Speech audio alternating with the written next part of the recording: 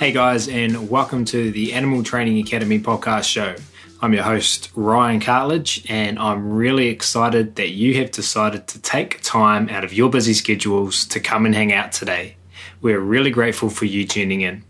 And if you have been listening to the podcast for a while, we really appreciate this. Thank you so much. Hopefully, you have subscribed so that you never miss an episode. But if not, or if you are new to the show, get yourself over to iTunes, Stitcher, animaltrainingacademy.com, or whatever it is you're listening to this podcast on, and hit the subscribe button to make sure you don't miss a single episode. We are bringing you today's episode on behalf of the Animal Training Academy or ATA membership. If you like the conversations in these podcasts, then I want to invite you to continue them with like minded people within the ATA membership area, which you can find out more about over on the ATA website.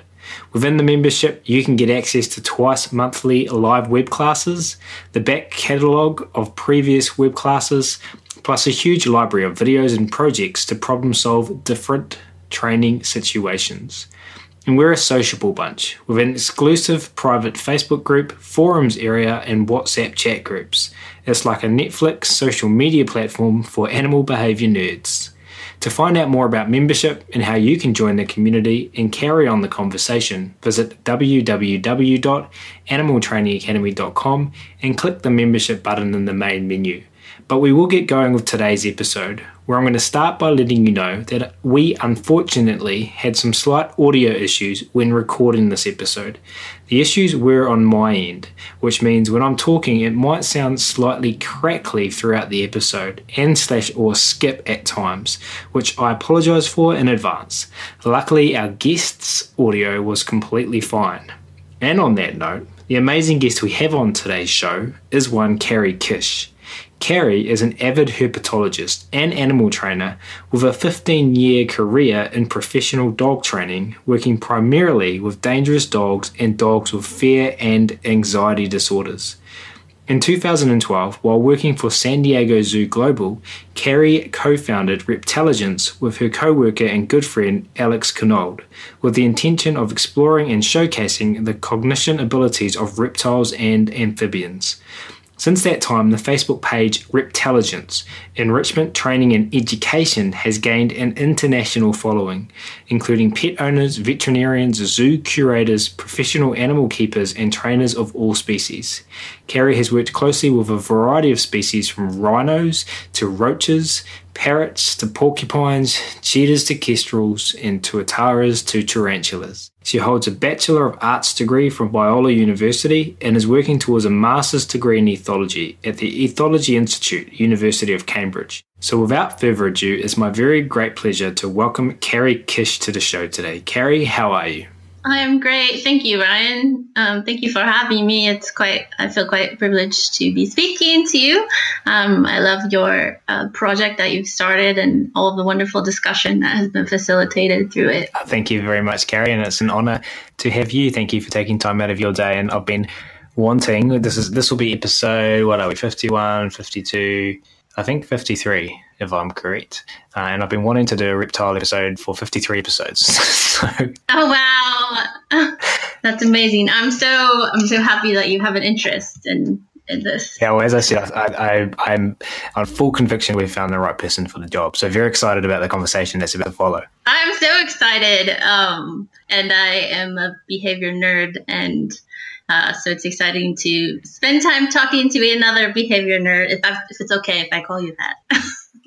about reptiles and uh, all the amazing things happening with their training and enrichment. I, am self-identified behavior nerd, so that's completely fine. We're going to dive straight into the first question, Carrie. Can you please build on your introduction that we just gave there and share more about what you currently do, Reptelligence, and your view of the importance of training and enriching reptiles and, and also educating others about it? Yeah, certainly. Um, Reptelligence actually started, um, I guess this is now five or six years in ago. Uh, and it was just me and my friend. And we were sitting around saying, um, gosh, it, there's, there's, there's no resource for zookeepers. There are these different studies going on within the science community. There's some citizen science but wouldn't it be great if we could bring it all together in one place? And so we sat there and we made this Facebook page and we watched the numbers go up. You know, uh, 10 people, oh, yay, 20 people, yay, there's 20 people that care about reptile training. This is amazing. And now it's sort of grown to something larger than uh, I think either of us could have imagined. Uh, but at Reptelligence, uh, we have a small number of reptiles from different taxa that we are working on um, training and enrichment with. So, uh, finding ways to uh, give choice and control to these animals, and then uh, making that information readily available to other both hobbyists, uh, veterinarians, zookeepers, and encouraging also a conversation among other keepers and hobbyists so that um, it's just a free sharing of information to sort of push forward uh, this. I guess it's a bit um, controversial of the status quo that you know um, reptiles maybe need more than than what they're getting, and how can we uh, advance that? And then, so in addition to um, the work the work done with the physical animals at Reptelligence, we also do a lot of education and discussion and are available for questions for those that are training animals or even have questions just about uh, basic husbandry to get to the point of being able to provide more en- enrichment and training. Yeah, well, we're definitely grateful for the inspiration that you and Alex originally had to get this started. So, on behalf of Planet Earth, thank you. Uh, and we will link to the Reptelligence Facebook page. Is that the best area to link to from the podcast write up? It is right now, and it does actually have a, a website link uh, that will forward to the page. Uh, but currently, there is not a formal website set up uh, for the for the Reptelligence project, uh, but that may be coming in the future. And I will give you that link as well. Everyone's on Facebook, uh, and so that's that's a pretty smart place to be hanging out. I think. Uh, I like that you use some words in there, choice and control. That's something we talk about a lot on this podcast. And the other word that you chose to use in there was controversial. So, how does what we're doing now wire intelligence and, and the great stuff you're doing, how does that compare to? Let, am, am I okay to label it traditional way of management? I mean, I think that we, uh, I think uh, those of us that are very involved in behavior and and where behavior um, modification and training and studying and research is going in the future, uh, try to stay away from labels in general. But I think as far as maybe how most people would view it, I think traditional is a fine word. Um, so there are uh, certain, there are certain, I think I would say, uh, not to steal Susan Friedman's word, but I think cultural fog is, is a great word to describe. Uh, maybe sometimes we see things in reptiles, even as um, traditional keepers who manage reptiles, and we uh, interpret it differently because we've sort of been told to interpret it differently. So maybe we see a reptile make a choice or invite a social contact or um, interact with an enrichment device in a way that we didn't expect, and we almost want to discount it because ah, it's a reptile and it can't do that. And I think that that puts us as at a disadvantage as reptile keepers uh, because I think maybe we're missing uh, some of what uh, the, the most thing, amazing things about reptiles are. And I think some of the traditional management has moved towards keeping these animals in smaller and smaller spaces with less and less, uh, I guess, as a keeper, I would call it furniture, plants, and different uh, spaces within their their habitat. And so I think the more we minimize, and I would almost call it deprivation, uh, the more that we create a deprived environment for reptiles, the less behavior we see, which in turn sort of reinforces this idea that uh, the status quo that reptiles don't have behavior, that they are merely reactive, that they uh, don't have premeditated thinking, that they don't make choices, and and whatnot. And so, obviously, um, coming in and saying, uh, yes, they do show preferences. Yes, they can be trained. Yes, uh, they can make choices. Yes, that choice and control is important. Yes, the ability to um, display a full array of their natural behavior in human care is important. Uh, I think it does kind of butt heads a bit with traditional management. So it's really, from what I'm taking away from what you're saying, us changing how we see things. And, and it reminds me of something I heard about a 100 meter sprint and a record for that. And at a time in history, people were saying, oh, you can't do the 100 meter sprint in X amount of minutes. And then someone did it, and then suddenly everyone was doing it. Is, is that a good analogy for what's happening yeah. in reptile training? People are saying, well, it's not important.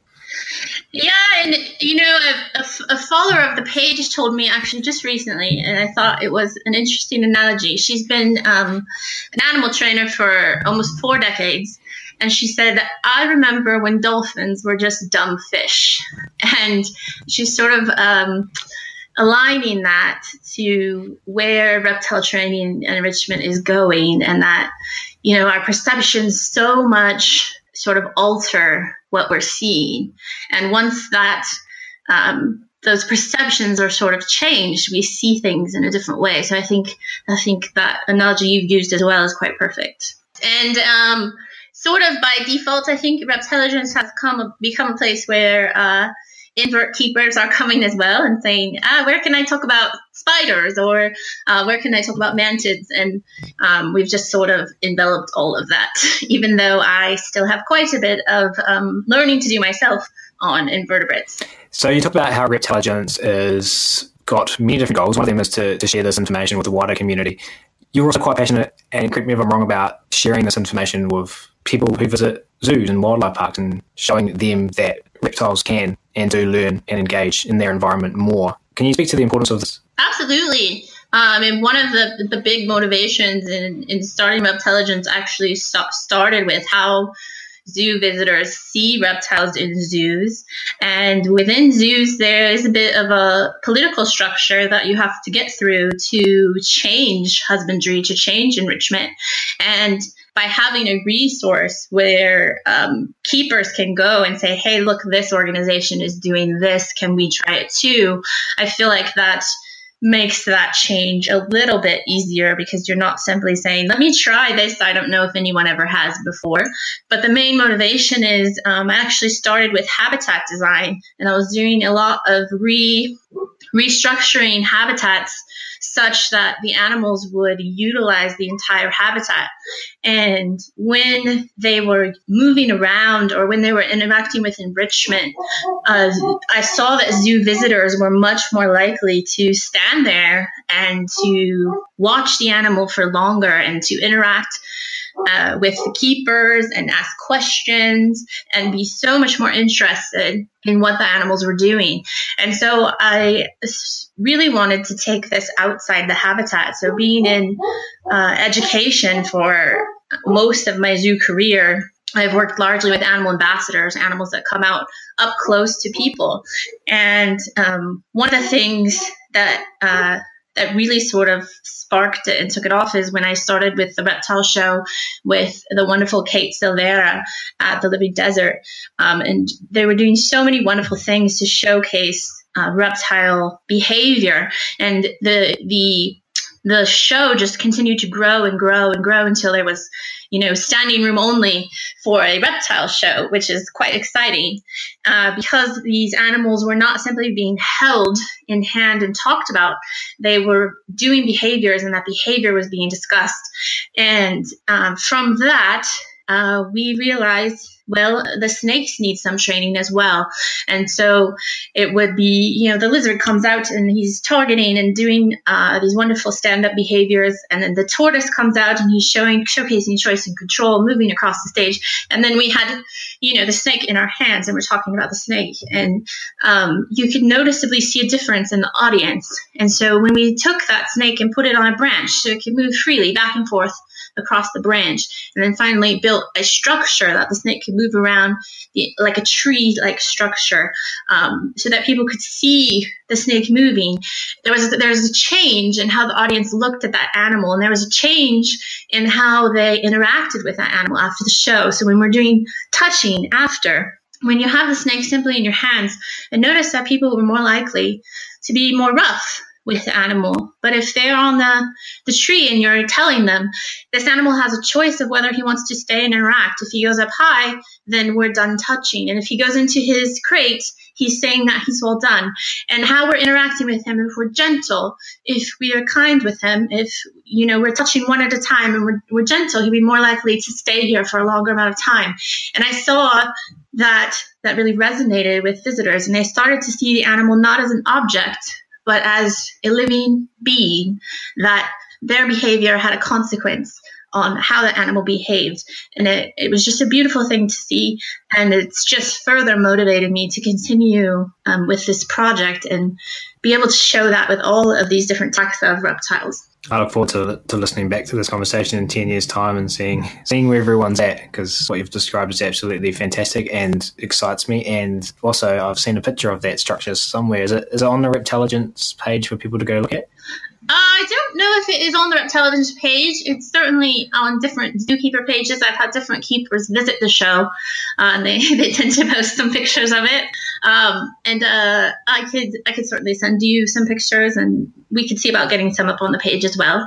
Um, but yeah, it's it's out there for sure. Yeah, we could maybe get one or two and put in the, the write up even for people to to go see what this tree looks like. Certainly, that, certainly. That'd be really cool. Hey, thank you so much for sharing, Carrie. Moving forward, we've talked about all of these ideas, and we always like to back up ideas with science. And there, ha- there has been significant research done here, hasn't there? Can you talk about some of the research that you're aware of that's been done with learning and training in snakes and other ectotherms? Yeah, there is actually consider well, it I, I would say it's a bit hard to find. So if you which we noticed also when we were first starting Reptelligence, um, you sort of have to be uh, committed to looking for it, but there are some actual published studies out there. Um, I think a couple of the ones that I enjoyed the most are um, there is a well well there's pros and cons to these studies of course because they're in sort of a science environment right so we're keeping the animals bit of a sterile deprived environment in order to get these results which i have a bit of an ethical conflict with but there was an indigo study which is with the eastern indigo snake which is one of my favorite snakes and they were trained through negative reinforcement. So they were shaped with water. Um, they were given water as a reward for doing this behavior, and they were shaped from touching a a string to touching a button and touching the button they were then able to obtain water. So this was a multiple sessions so it shows that they had memory as they went through these sessions. Uh, showed that operant conditioning was possible. Uh, showed that water could be used as a reinforcer. And uh, well, another thing it showed, which I guess we can take it for however we like, but the snakes were willing to perform this behavior even if it did not yield a reinforcer every single time. So um, I think one of the things that needs more data and study is, you know, can how long can snakes keep these memories? Do they stay with them or do they have more of a short term memory? And I think this study shows that that they can sort of keep this memory a longer time.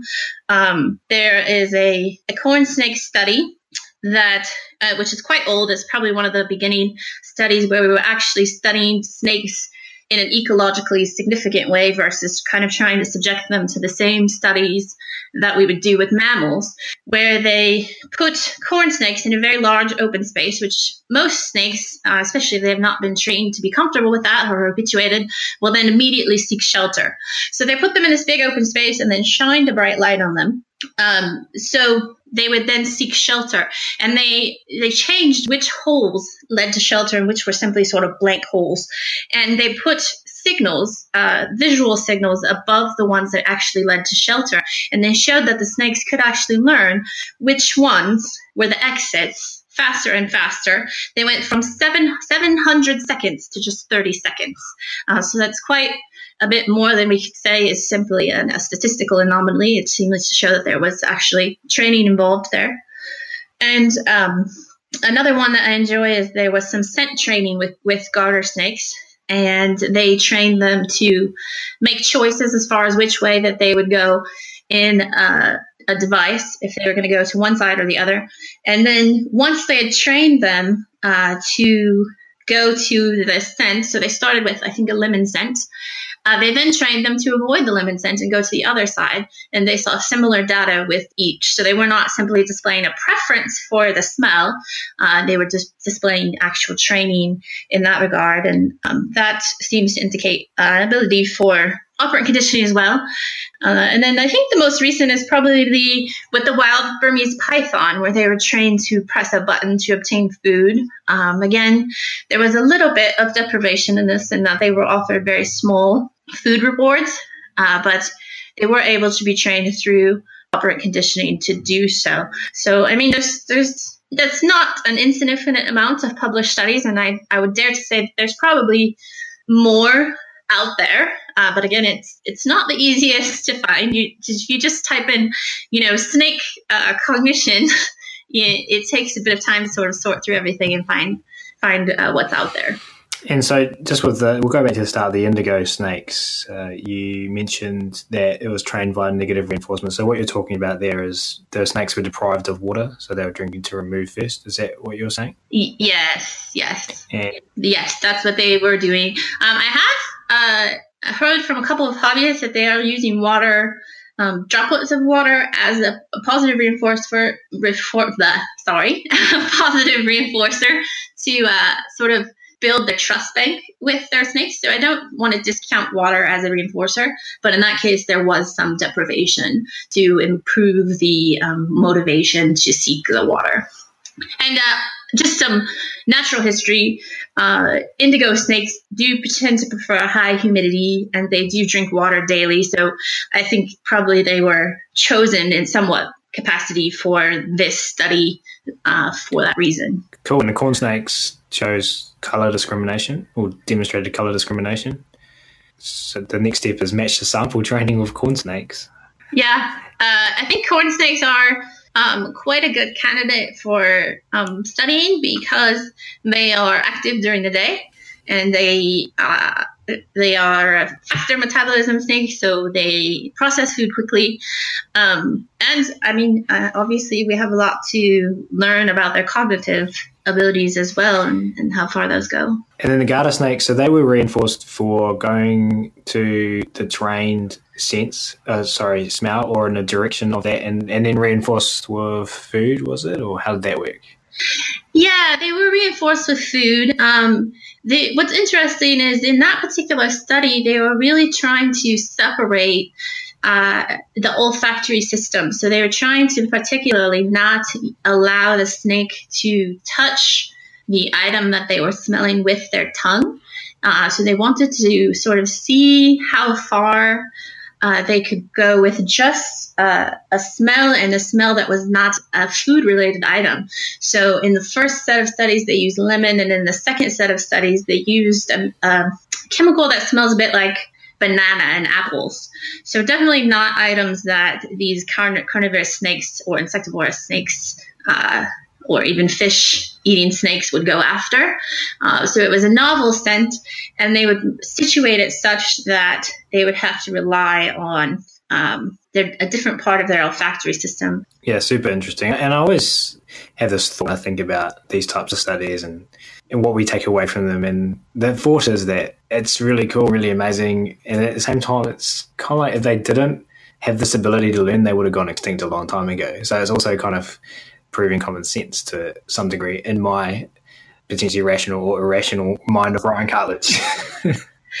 yeah, of course there is that. I mean, everything on Earth is is made to behave, and so if an animal doesn't have behavior, uh, of course it's not going to survive. So, um, but again, coming up against what what the status quo is now, and what sort of these static preconceptions are, and how how highly we hold to them. Um, it's I mean, you sort of have to have this research to be able to show to kind of get through all of that that fogginess, but I think we're getting there. Yeah, and the work you're doing is definitely helps helping to lift that fog. That was a lot of fun to learn about, Carrie. For our next question, firstly, I want to congratulate you on your recent trip to Sweden to present at the Choice Control and Communication Conference. That's really exciting because you went over there to present on snake training, didn't you? I did, and I have to thank the wonderful Eva Bertilsson for that opportunity. Um, it was quite amazing, and the amount of feedback and encouragement I have received from presenting there, I just it's just unfathomable, and I can't even probably express it well in words. But um, it was a wonderful, wonderful experience to um, meet up with so many other people that are excited about this this training and not even uh, I, I, didn't even present it in the sense of training all ectotherms although these principles certainly apply to all but training snakes in particular to see people so excited about learning how to train snakes was just i can't even express how amazing that was yeah i can imagine and we have uh, Eva to thank for this podcast as well she put me and you in contact and i've had the pleasure of looking over the presentation that you gave because you sent it through to me. So thank you very much for that. And I feel like we do uh, numerous episodes, numerous podcast episodes just on that presentation. But I, I, picked something out which I thought would resonate with the listeners of this podcast, uh, and, and I thought would be a good discussion point. And in that presentation, you gave four steps to training a snake. Can you run us through these four steps? I can. Um, and then they're a bit loopy in the sense that one kind of leads to the other. And also, I, I would say, I would preface it with I don't think this just applies to snakes. Um, but the first step would be uh, taking data on the animal itself. So um, I think sometimes we get sort of super excited and I'm going to start this training program. But really, the first important thing to do is observe the animal. How do they use their space? How do they react to you coming into or being around their space? Are they using their whole space? Or can we make some adjustments to make sure that, first of all, we're getting behavior within the habitat where they're comfortable before we're inviting them out? Um, is the animal healthy? Do they, you know, eat, shed, and eliminate on a normal schedule? Is there anything we need to address in that regard? Um, and is the space appropriate for the species? I think sometimes I get approached about aggressive behavior in um, reptiles or different ectotherms, and sometimes it, it's a, it's a husbandry issue where the animal doesn't feel comfortable.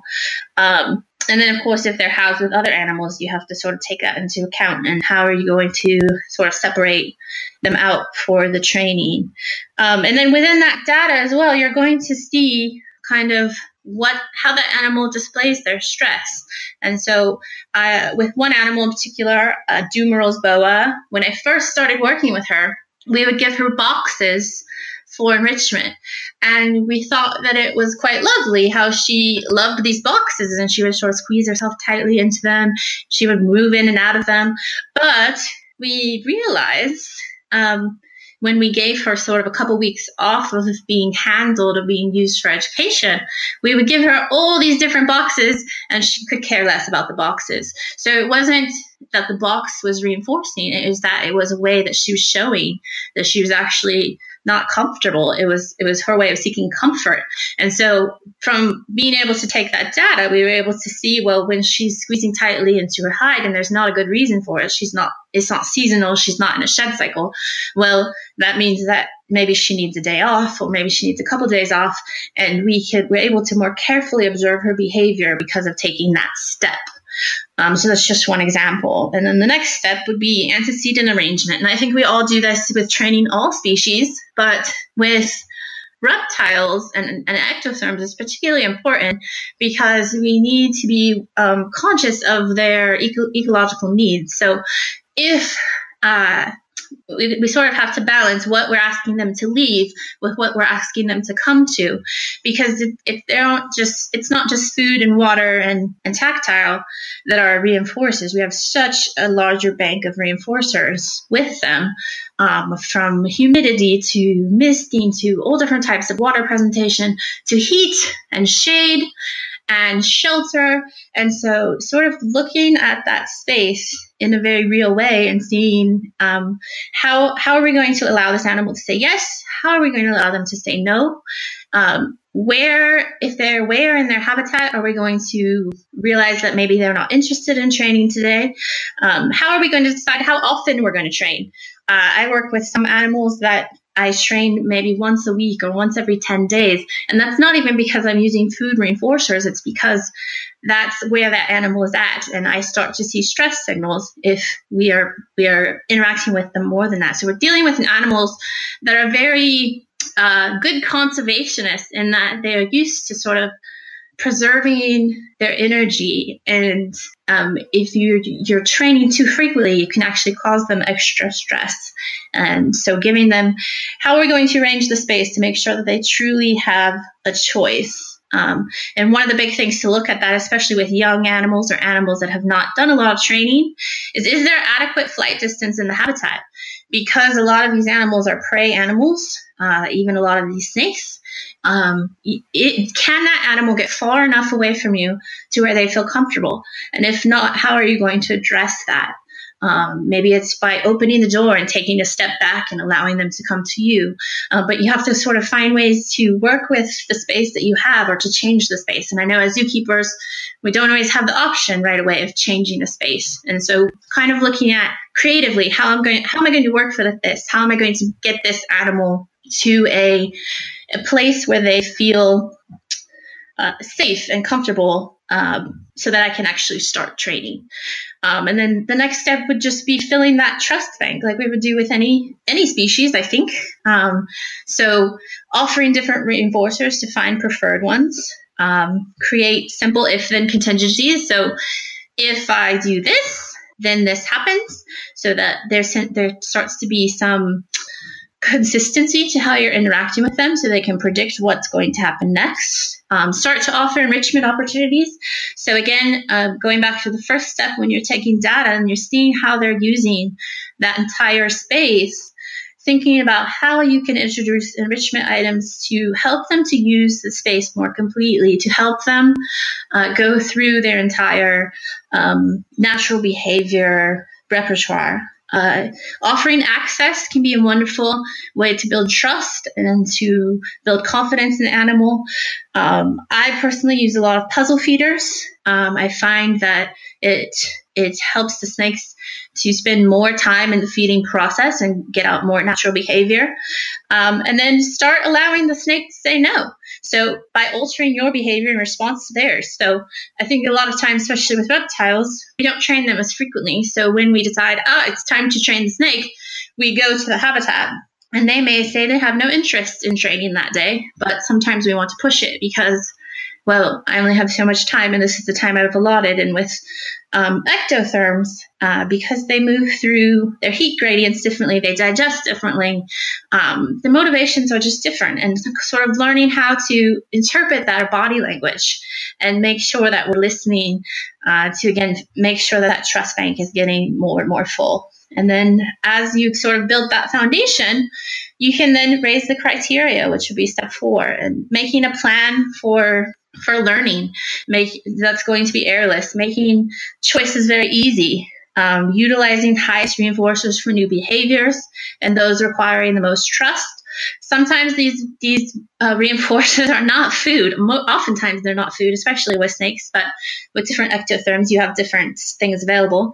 Um, but oftentimes um, it's looking at too: is this an animal that's more active in the PM or the AM, and can I interact with them when they're already active, when they're already offering behavior, and sort of catch that behavior, and then throughout that, kind of stopping and reassessing. Am I progressing? Uh, is the snake displaying any, or other ectotherm, displaying any signs of stress? And if not, what can I change to make them more comfortable and more likely to want to offer behavior? Listening to them throughout. Um, and then I guess, as I said before, just um, making sure that you're not overtraining because uh, they, they, they do operate a bit differently than mammals and birds. So I guess that was a quick one through. I thought hopefully I didn't talk too fast.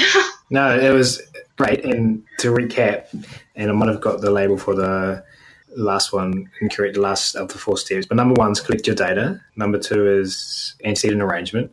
Number three is filling that trust bank. Number four was no, uh, sorry if I get this one wrong. Was it make a plan? Uh, you could say that. I, I say raising criteria because you're uh, I sort of look at it that the whole time that you're interacting with um, with your animal, whether you're feeding or cleaning, you're training them. Whether you're looking at it as training or not, it's sort of I guess you could say passive training. And so um, when we get to step four, it's it's sort of raising your criteria and the animal's criteria, and I guess making it into a more formal plan of how you're going to accomplish what you're looking to accomplish. But yeah, you could make a plan as well. And so, in that first step, collecting data, you talked about understanding snake body language and understanding signs of stress. Where can people go to learn more about learning about snake body language and or ectotherm body language? Ah, well, um, I have mostly learned through working with the snakes themselves. So um, I don't know that there's a proper link right now, but I can certainly put up some of that information on the Reptelligence site or uh, send you some to link to this uh, page as well. Um, but it's going to change also depending on your animal. So some snakes, like I mentioned with Jula, that Dumeril's, she was very subtle with her changes in behavior, and you could have possibly even interpreted, you know, her utilizing those boxes as a positive thing. But through sort of watching her, you learn that to interpret it in a different way. Does that make sense? Yeah, through, through observation, which is yes. which is the first step, right? Uh, yeah. So there are many different signs of stress. Um, from uh, the, the the most common is probably the tensing or tightening of the body for the snake, uh, but hyperactivity can also be. So sometimes when we in- introduce enrichment or training, we find a snake is very, very active. Well, activity can be good, but it can also be a sign of stress. So um, perhaps what would be best is yeah, I'll I'll put together some of these um, signs and link them to the page. Does that work? Or do you want to spend more time more time on this? That'd be amazing. No. No, I think that works, and people can people go people that are interested in that specific side of things, which should hopefully be everyone that's working with these species, can go to the page and get that further information. With regards to antecedent arrangement, you said setting up yes no option so the snake can say yes or no. Right. Now this is clouded in the fog. I'm going to take a guess for a, a significant amount of people who work with reptiles uh, and hopefully my way of describing things resonates with people. What advice can we give to to keepers specifically uh, who have to take these ideas to their managers who might be surrounded by fog? Uh, what what are some suggestions about how to start to inject these ideas into organizations? Well, I think probably the greatest motivator for keepers who do need to go to management is to look at this as an opportunity to increase visitor interaction with the animals and increase guest experience. So if visitors are taking away more from watching that animal, whether in habitat or out of habitat, um, then I think that there's a way to find shared value with management in that regard. But as far as changing spaces, uh, I have found that to be um, not the easiest to get around. And so a lot of times it's more being creative with what you have until you can show maybe the smallest um, advancement to management and sort of start to build that rapport and get that support that you need to continue building on on the foundation. So, um, yeah, you're sort of training snakes and sort of uh, dealing with the politics at the same time.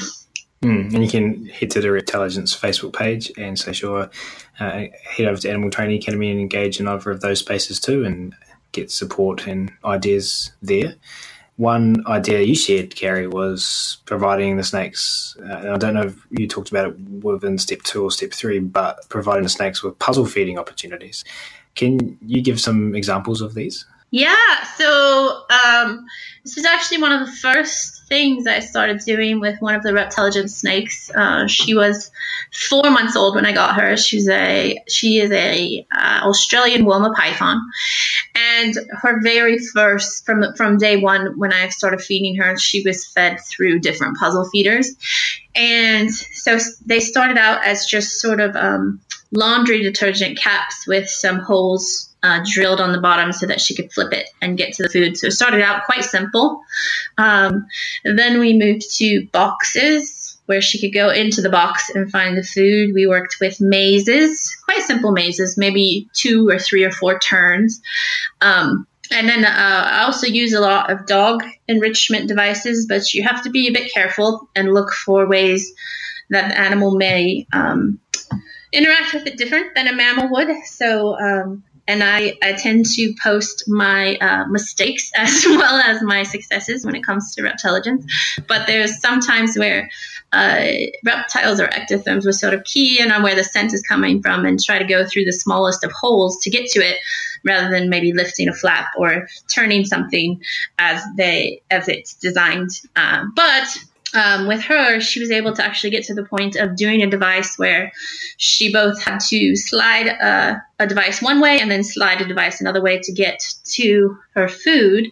I've also done some where I give her different boxes that look exactly the same with a, a lid that she has to turn. Uh, and I, I, don't mean to, to, screw it off like maybe some of the um, octopus enrichment that we've seen, but uh, it's simply sitting on the top and it's pinned with one nail, so she just has to slide it around, but it just keeps her from being able to accidentally knock the lid off. Um, but with these different puzzles, what I've found is that she can actually spend up to over two hours working on a specific puzzle. Um, and to me, uh, I'm starting to see some patterns. I don't have enough data to really make a claim yet, but I know that um, seeking patterns and, and, foraging patterns and time budgets are quite heavily studied in mammals and birds. And I would make the hypothesis that these same type of, uh, well, not the same time type, but that foraging patterns also exist with reptiles. And so when they're able to go through their entire sequence of hunting, so sort of sensing, finding where it is, uh, figuring out how they're going to get to it, and then actually striking and grabbing that food that if that process takes more of a natural amount of time as it would in their native habitat, I find that it actually uh, reduces um, some of the, the, the, negative behaviors that we don't like to see in captive animals, like pacing the glass or um, maybe jumping out at us when the glass opens uh, because of anticipating food. Um, and I find they're quite calm. So with this particular snake, I can actually sit with her on the ground and she can work on her puzzle and then she'll sort of take a break and lay down or she'll crawl up over my lap and then go and, and take another break, and then she'll go and interact with the puzzle again. So there seems to be um, some sort of pattern in that she gives herself so long of really hard interaction, and then she sort of takes a rest and thinks about it again, and then goes at it again. And I can't say, you know, what she's thinking. I, I, I wish I could, but um, I don't have that data. But um, there does seem to be this ability to stay with a particular thing for quite a long time. And I wonder how engaging that in these different reptiles might change the behavior that we see in captive reptiles in general. And building on that, what's what's the importance of this? Can you share with the listeners of this podcast why you think this is important? Yeah, I mean, uh, there's a lot of reasons I think it's important. Um, one of them being that I think that reptiles don't always get the best rap in general, and they're harder to connect with for a lot of people.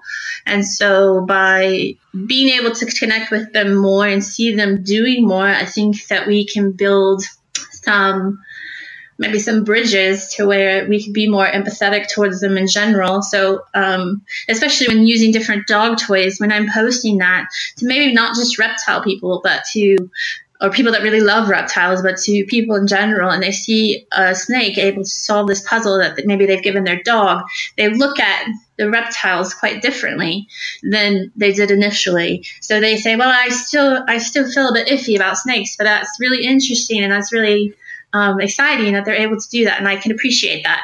Um, and I think that that's just important in general for how uh, culturally we feel about reptiles, at least here in the States. Um, but also, it provides opportunities for these animals to practice um, their full behavior repertoire. And when you're keeping an animal in a small box with just a water bowl and paper, um, I don't know that we're allowing for that full behavior sequence. And yes, they may survive, but I don't know that they're thriving or they're showing us what they're fully capable of. And that I think also affects our perceptions of them. So if there's when they're not offered any opportunities and they don't do anything, then we look at them maybe as not as intelligent of an animal. But if they are given these opportunities, um, I think as keepers we could develop a closer bond with them as well and understand them more as an individual, and that affects their overall care and well-being. And we're able to give them more choice and control because we can actually communicate in a way. Um, but then I think too, um, just looking at reptiles in the overall picture, we don't know enough about them. And biodiversity is so important, and we're learning so much about these species, and we're losing so many species every day. But um, we we still have so much to learn about ourselves and about other species from from looking at reptiles. And I think it draws, it sort of pulls the lens in on them and makes them uh, look less disposable and less um, unimportant to overall. I don't know if I've answered your question. Yeah, no, you definitely have. And, and we're going to talk about this in the next question anyway. So I'll just skip forward and we're going to go backwards again soon. Um, okay. And we, we talked about a lot there about the, the importance cognitively of, of providing this uh, enrichment for these animals. And I'm sure everyone that's listening to this podcast agrees with all the things that you've just said. You've also talked about in your presentation just the importance of giving these animals that physical exercise and giving them the ability to exercise. Absolutely. And I don't think, honestly, that we know the extent to which, you know, keeping these animals more sedentary is really affecting them physically or affecting their offspring physically. Um, and I don't know that we will see those um, physical changes until further down the road and hopefully you know before uh, it makes some sort of you know permanent uh, difference on this, these species because some of these species are only kept in human care at this point uh, because of the status of, of wild environments. And I don't know that there's been, you know, um, studies of how this affects the heart or the lungs or the muscular structure. Um, and a lot of times we do have especially as zookeepers, this challenge of keeping these animals in smaller spaces than they would be in their native habitat. I mean, looking at uh, just a few snake species um, that I was able to find some data on, they're traveling at least maybe a mile or two from their den, but at the most, maybe 25 miles from their den uh, throughout uh, a week or a month. And so taking an animal that travels that much and saying, oh, you're fine in a box, well, they might be, but we don't know what effect that's having. And I know that there are some studies coming out, hopefully in the next couple years. I've heard uh, bits and pieces of studying um, cortisol levels in reptiles, uh, focusing on, um, I think, snakes and uh, another species as well, another taxa. And I think that information will be quite helpful as well to see um, how it's impacting their stress levels and how that might be internalized to their physical body. Yeah, it's exciting. So I'm quite excited. Me too. Looking forward to that. Um, just, just thank you for all that, Carrie. Just to go back a little bit, one one of the behaviours that you discussed in your presentation that you gave at CCC in Sweden was crate training. Yes. Can you describe for people the process of crate training a snake and, and how you utilize it? Yeah, so we sort of ended up back chaining a little bit. So um, we had um, started training these snakes to come out of their habitat uh, largely on their own. Um, some of them it's still a work in progress, uh, but we had gotten to the point where they're you know choosing to stay on this branch or choosing to stay on the tree, the snake tree, and the snake tree actually became quite reinforcing um, to where some snakes did not want to get off of the snake tree. Well, we didn't want to make that aversive to where we're telling them when they have to leave. And so they already had the choice to go up high to where they could not interact with guests if they wanted to. Um, and we frequently put different reinforcers on the platform, so um, different sense or heat options, uh, that type of thing. And we just found that some of them just not want to leave because they were they would just continue to go up and down and around and, and move around, and they're um, not expressing any stress. Signals to where we're worried that they are not happy. Um, and so what we sort of devised is well, we'll have to um, train them to come down when they would like to, and then sort of shape it to where uh, the crate is becoming more and more reinforcing. So what we did is actually, at this point, we're still using non-food reinforcers because um, using food in that setting at this point, I don't feel would be the most appropriate uh, because we are surrounded by guests and we sort of have to find a way to make that a more controlled um, stimulus. But so we would, so we simply uh, experimented with providing different things in the crate that different snakes find reinforcing. So perhaps Jello, the corn snake, would want to only go into a crate with some leaves in it. Uh, um, so she can sort of move around in the loose leaves. Or uh, a, one of the pythons may only want to go in where there's a soft, fuzzy blanket or something very comforting that they can get under and feel very um, contained and and uh, sort of comfort in there. Or maybe they want a heat source in there, and so it sort of was a trial and error to see which snakes wanted what. Um, and we sort of alternate between natural substrates and uh, I guess you'd say non-natural substrates and using those to sort of encourage them.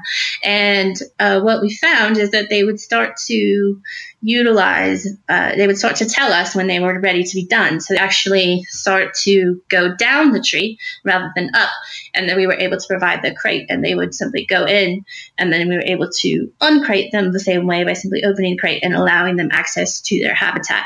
And so it became a very nice solution to um, sort of getting them off of the snake tree uh, versus um, having to make that choice for them. They were then given that choice and control.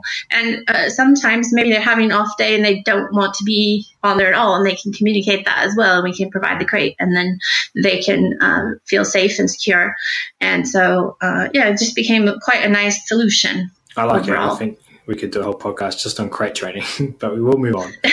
one, one thing you said in your uh, presentation, and I thought it had value to just add in the end here is that learning's happening anyway. Um, we can't get past that. We're interacting with the snakes, they're interacting with us, we're interacting with their environment, they're interacting with their environment. Learning's happening. So basically, what you're suggesting is that we we have these discussions, we think about this more, we be creative, and we just leverage what's already happening anyway. Yeah, I mean, really, I mean, if we're we're looking at at snakes through kind of the same, or any reptile, lizards, uh, tortoises, invertebrates, all of it. If we're looking at it through the same lens as we're looking at mammals and birds, um, and all living things, and we're using sort of that those that Skinner box and those those quadrants, then we know that learning is taking place. And I think if we're honest, a lot of keepers and even hobbyists and pet owners and breeders, we can all sort of see that what we do does have an effect on what these animals are doing. We can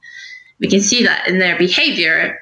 Um, but I think a lot of times we sort of put these labels instead of, oh, this snake is aggressive, or that snake is grumpy, or that turtle is, is stubborn, or shy, or whatever the case may be. But regardless, we are interacting with them, and so they are learning about us. They're learning about their environment. They're learning what works for them, what doesn't work for them. And when we're looking to try to change something, too, I think it's important to realize that we're asking that animal, as with any other animal, to change something that's working for them. So, one example that I would often give my dog training students is if you want to sort of think about how hard it is for your dog to stop doing this particular thing, um, maybe just move your kitchen trash can across the room for a week or a month and, and see how many times you go to where you would normally put the trash because that'll give you an idea, you know, how how easy it is to sort of form these habits and these behaviors that work for us, and how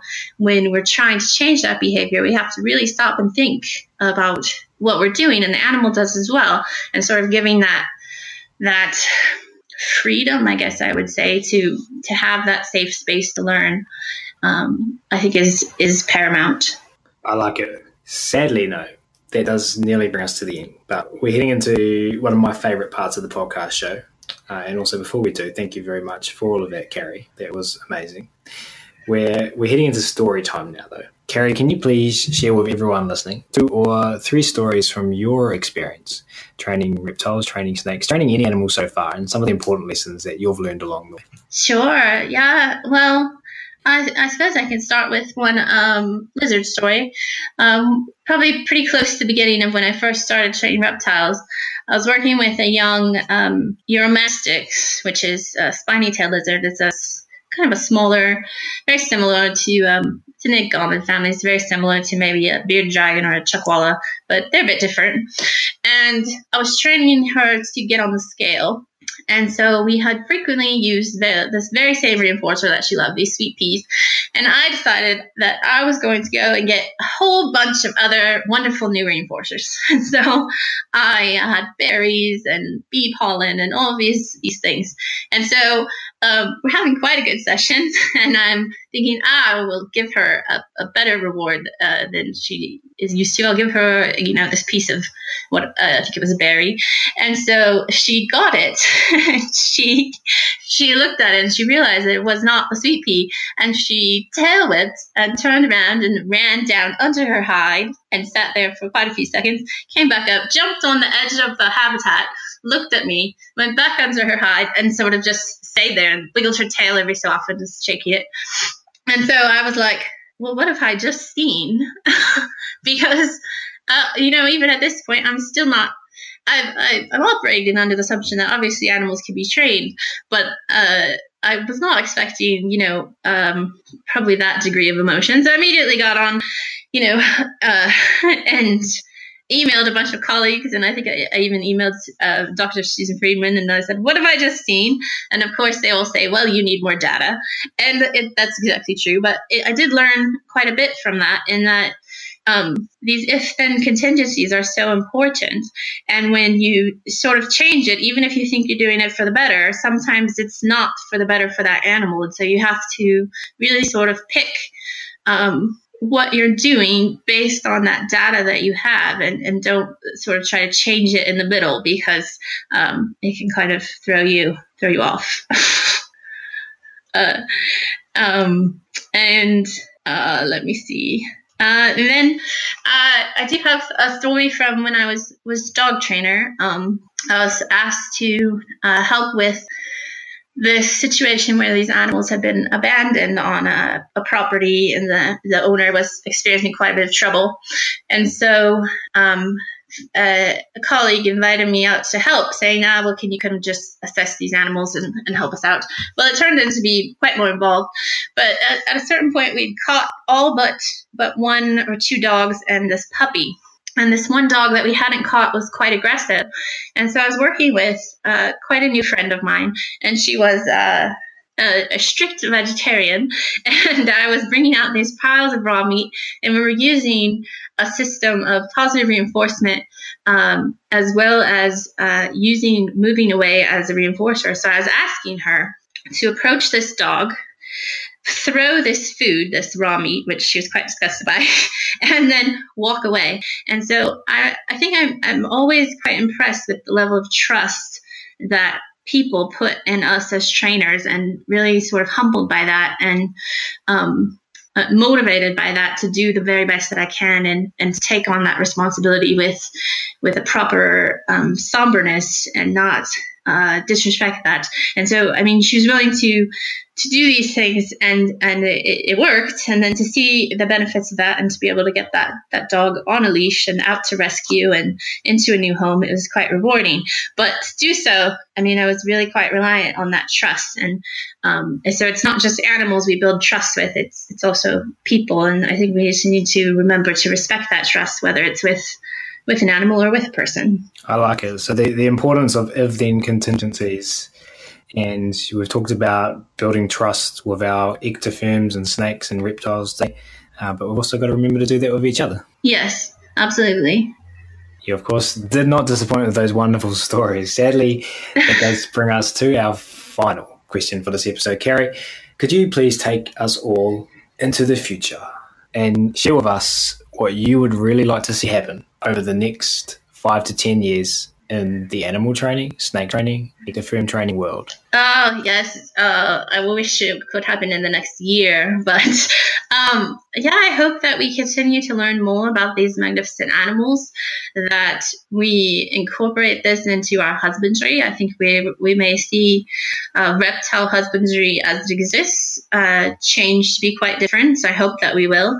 Um, I hope that we will um, start to be able to encourage natural behavior more in a captive environment, um, not just for educational purposes with others, but also in the relationships that we have with these animals, and also just for their overall well being, that um, we engage them in ways that uh, really give them this full life as they would have in their native habitat. I hope that we, through that, can inspire a love uh, and an empathy for for ectotherms that um, maybe we all don't have at this point. But I know that we don't all have at this point. Um, and and through that, we can preserve some of these nat- native spaces where these animals live. Um, and I hope that that just in general, the perception about um, about reptiles changes, in that we can start to see that if they are capable of preferences, if they're capable of making choices, that they're capable of behavior, that they're capable of operant conditioning. And if they're capable of behavior, that there there has to be an element of emotion tied to those behaviors. And, it, and it's really up to us as caretakers to recognize that and address those emotions as well as part of the whole animal. So I think I would like to see um, the spaces and the husbandry uh, change, which is something that we talk about quite a bit um, in the group attached to Reptelligence, is how how can we make our spaces um, inviting and safe for the animals so that it, it encourages training and that it encourages behavior um, and makes it a safe space where we can communicate back and forth. Um, I would like to see our knowledge grow. Uh, so that we understand ah that I you know had a, a colleague that was a uh, neuroscientist or someone that has some interest in actually studying these the reptile brain and how they are they are processing this because I think that's one of the big hiccups when we come to sort of butt heads between traditional management is well reptiles don't have this part of the brain that would allow them to do this. And so um, I think if we can study that and see how they are making these decisions what's what's motivating that um, what's driving their behavior how are they processing? I mean we only I think barely have uh, the tip of that, even when it comes to mammals and birds. But if we can start to see the, that the brain is capable of this, I think that would move us us forward quite a bit faster. Um, and then just I would like to see the, the citizen science of just everyone who has an interest in this just jump in and do it and please take data and and share your data because if we aren't sharing with each other um, it's going to take us even longer to get ahead. And don't just share successes share failures as well. I think that's so important and something that so often we're leery to do because it's not really a safe space to do that. But when we share our failures we can move together so much faster. We can move forward together. And so um, i would just like to see uh, all of that and and in the next year, if possible, that would be great. no, in the next in the next ten years, I suppose. And Reptelligence is a safe place to go discuss this stuff. Animal Training Academy is for people that want to take you up on this challenge. Where can they go out? Or where can they go? I should say, sorry. Where can they go to find out more about Reptelligence and, and what you're doing? Can you provide us the links verbally or? Yeah, uh, uh, so if you go to Facebook slash Reptelligence, you can find um, the page there. You can certainly uh, click and follow that. Uh, in addition to that page, there is attached to that page a group where we discuss uh, training in particular. People post different training and enrichment that they're doing. You're um, quite able to get feedback. It's very closely monitored, so it's it's a very safe space to do that. Um, and everyone is sort of of the of a similar mind in that we are all wanting to see each other succeed. Um, so it's very very safe place to do that. Um, and then. Uh, yeah, in the future, hopefully, uh, we will expand uh, web presence a bit more. But for now, that's probably the best way. Fantastic. And we will link to all of this in the podcast write up as well. So if you're unsure, head over to Animal Training Academy. Uh, .com and check out the podcast section, find Carrie's episode, and it'll all be included in there for you, nice and simple.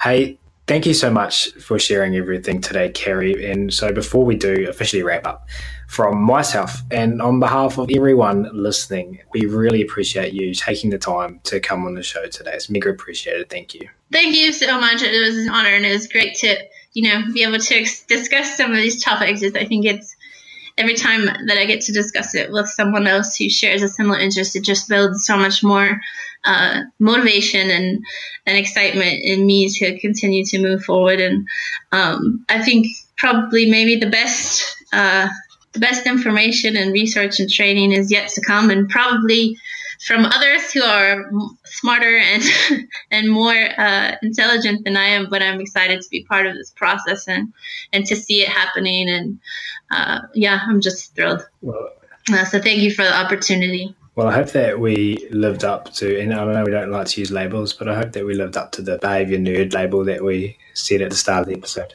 I think so. I think so. We do, of course, appreciate you tuning in today and hanging out with us. If you have enjoyed the episode and you are interested in carrying on these conversations about most positive, less intrusive ways of influencing behavior, then as mentioned at the start of the episode, the ATA, the Animal Training Academy community, is waiting for you. Head on over to www.animaltrainingacademy.com and click on the membership button in the main menu to learn all about how you can connect with like minded, positive reinforcement based animal trainers from around the globe. Whether you train or are thinking about training dogs, cats, birds, pets, zoo animals, vet clinics, zoos, kennels, wherever behavior management is required, you will love all the different ways you can join in forums, WhatsApp chats, private Facebook group, live web classes. There's something there for absolutely everyone. And we are looking forward to having you join the family.